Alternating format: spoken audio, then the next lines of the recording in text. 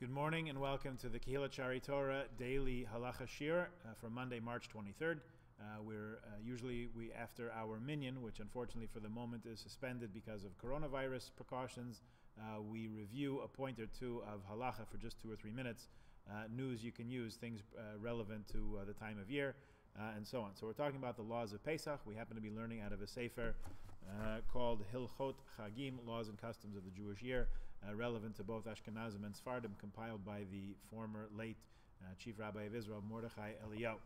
Uh, so we're talking about uh, chametz and the absolute need uh, to dispose of your chametz, uh, get rid of your chametz, not own any chametz, any leaven products over the course of Pesach, from before midday on erev Pesach through the end of the holiday.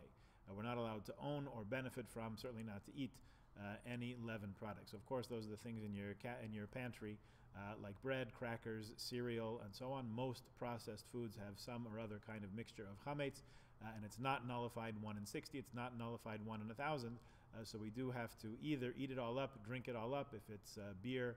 Uh, liquor, uh, most of those contain, almost all of those contain uh, chametz. The alcohol in it is considered chametz uh, has to be uh, disposed of, uh, not owned by us, uh, by Jews, by any Jew.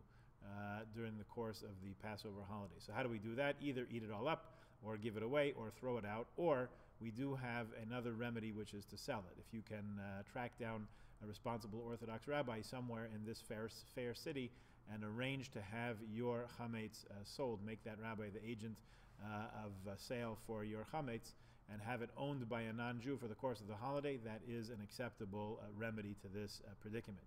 Uh, we will have both on the website uh, within the next couple of days, and also in the uh, in the Nachas bulletin, which is going to be available online and will be mailed out to you.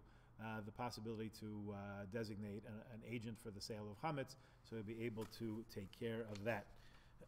We're not allowed to uh, eat or derive any benefit from the chametz that's owned by the non-Jew, even if it happens to be in our garage or if it happens to be uh, in our uh, hall closet in our house.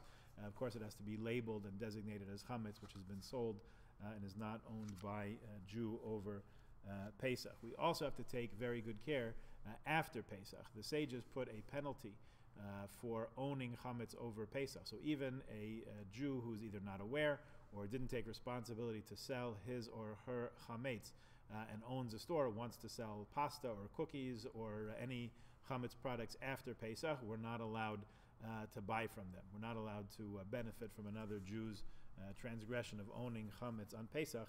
So we have to take very good care that the uh, store that we buy from either is owned by non-Jews or if it's owned by Jews, that all the chametz that's uh, in the stocks in the stockroom was sold before Pesach.